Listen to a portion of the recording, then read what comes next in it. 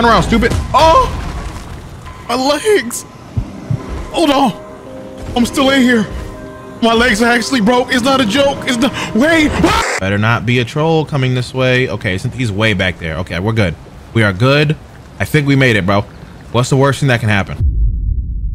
Yo, can you give us a ride? Cart to make our journey easier. Yeah, it would. It would. These carts offer comfort commensurate to their cost. I, I hope so. Can you take us to the city, please? What's in front of us? I'll not take you anywhere till I've had my due. Bro. Bro.